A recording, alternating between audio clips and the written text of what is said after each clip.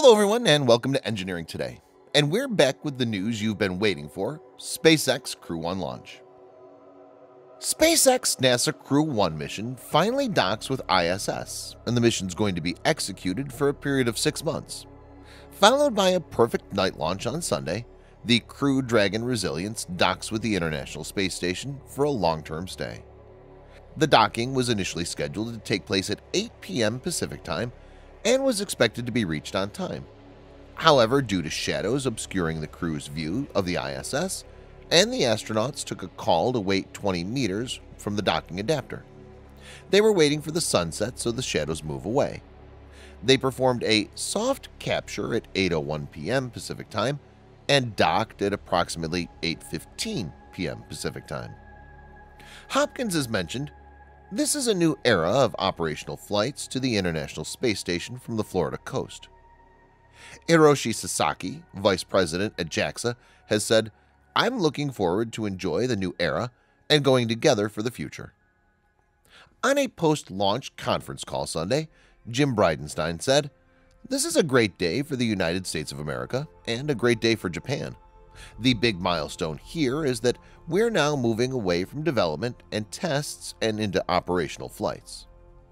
NASA's Anthony Vareha, the lead flight director for the mission, mentioned, It's exciting, especially with Crew 1 being the first time we've ever put four people on a space capsule ever as humans.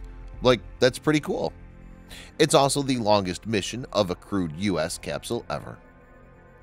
On May 30th, SpaceX launched the first crewed test flight, known as Crew Dragon Demo 2, which eventually paved the way for this launch. Bob Behnken and Doug Hurley, as the Demo 2 members, gave some advice to the current crew members. Crew 1 launch was the beginning of a new era for both SpaceX and NASA. This launch marked the first long-duration mission of SpaceX's new Crew Dragon, also the first operational commercial crew mission to launch as part of NASA's Commercial Crew program. Crew 1 mission patch does not have any names or flags on it.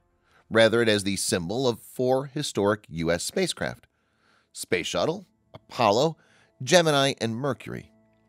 The mission patch also shows the symbol of the International Space Station on top. NASA began the live coverage of this launch about four hours before the liftoff, which started with the suit-up process. According to SpaceX, those custom-tailored suits are designed to protect the crew in the event of cabin depressurization. The crew traveled to the launch pad in two white Tesla Model X electric cars. Upon arrival, they took an elevator to reach the crew access arm that stands approximately 265 feet or 81 meters above the launch pad. All four members of the crew entered the capsule at about 2 hours and 35 minutes before the liftoff. At first, a potential leak was found while closing the capsule's hatch.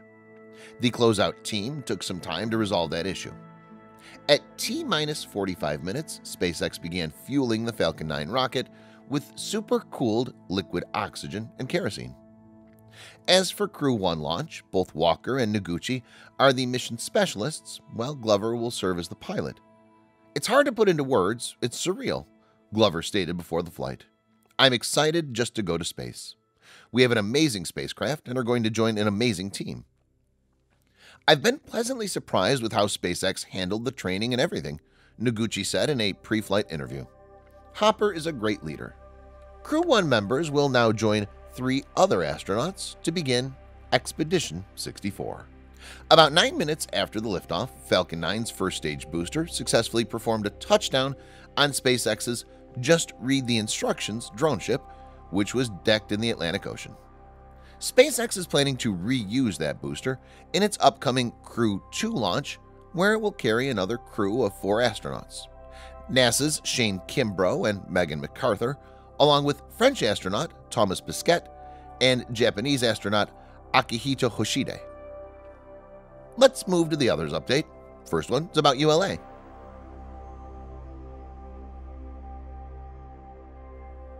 ULA Atlas V launched National Reconnaissance Office satellite. NROL 101 is the 86th flight of the Atlas V and United Launch Alliance's 141st flight. This launch is the first to use GEM 63 rocket motors made by Northrop Grumman.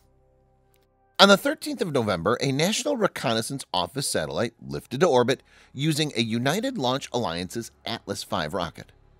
At 5.32 p.m. Eastern Time, the rocket lifted off from Space Launch Complex 41 of Cape Canaveral Air Force Station in Florida. The satellite's final orbit is sorted. At the request of the NRO, United Launch Alliance ended the live stream about three and a half minutes after launch following payload fairing separation. The Atlas V takeoff with three GEM 63 solid rocket boosters side-mounted to the first stage and a single RL-10C1 engine mounted on the Centaur upper stage with a 5-meter payload fairing. Ted Molczan, an amateur satellite observer of Toronto, said that according to his estimation on the target orbit inclination, he believes NROL 101 is a Satellite Data System Relay satellite. The Satellite Data System is a constellation of U.S. military communication satellites. According to report, United Launch Alliance is planning to launch the GEM 63s on future Atlas V missions. In the meantime, Northrop Grumman will complete the development of a larger GEM 63 XL version for the Vulcan Centaur, future vehicle of the United Launch Alliance. Let's move to the next update regarding ESA.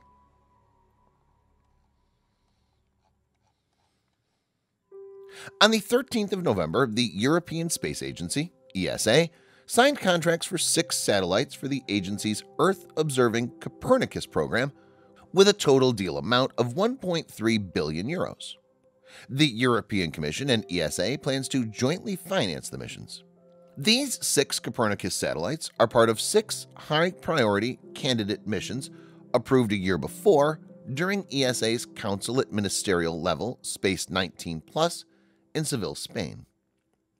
Due to the campaign to develop Copernicus Imaging Microwave Radiometer CIMR and Copernicus Hyperspectral Imaging Mission CHIME, Thales Alenia Space of Italy will receive the maximum share of funding. CIMR is scheduled to launch in 2028 using an Arianespace Vega C rocket. Each of the two satellites will carry an antenna 8 meters in diameter to open out in orbit. The antennas are designed to collect L-band microwave emissions from 1.4 GHz to 7 GHz. The CIMR satellites will provide observations of surface temperature, ice concentration, and salinity of sea. Joseph Aschbacher, ESA Earth Observation Programs Director, said that the CIMR satellites will set the standard for resolution and performance. The CHIME mission is scheduled for launch in 2029 using a Vega C. The CHIME satellites will carry shortwave infrared spectrometers to make hyperspectral observations for sustainable agriculture and biodiversity management. Along with three pairs of high-priority candidate missions signed on the 13th of November, ESA awarded additional Copernicus contracts. ESA signed a 300 million euro contract with Airbus in September to develop an ice monitoring satellite called Copernicus Polar Ice and Snow Topography Altimeter Mission.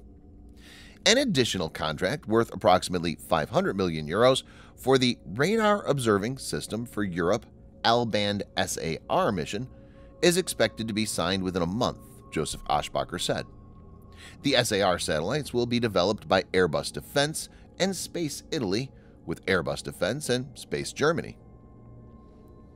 Airbus Defence and Space Spain jointly developing Copernicus Land Surface Temperature Monitoring LSTM under a 389 million euro contract. Airbus Defence and Space France is developing LSTM instruments.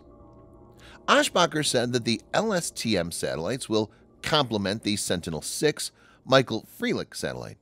A joint venture of ESA and NASA is scheduled to launch aboard a SpaceX Falcon 9 rocket on the 21st of November.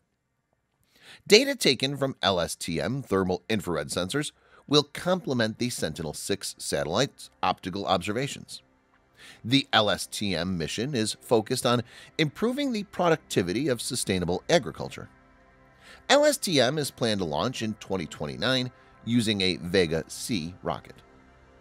Now we'll take a look at Raytheon Technologies. Virginia-based Raytheon Technologies recently announced that they're planning to acquire Blue Canyon Technologies, although they did not yet mention the value of the acquisition. Blue Canyon is a private manufacturing company for small satellites and spacecraft components. Blue Canyon's headquarters is located in Boulder, Colorado. On Tuesday, November 10th, Raytheon announced they would acquire Blue Canyon by early 2021. According to the president of Raytheon Intelligence and Space, Roy Azevedo, the space market is rapidly expanding and our customers need comprehensive solutions faster than ever before. What makes Blue Canyon Technologies the right fit for our business is its agile, innovative culture and expertise in small satellite systems and technologies. Blue Canyon is a commercial satellite business. The company previously won a DARPA contract worth $14.1 million to produce satellite buses under the Blackjack program.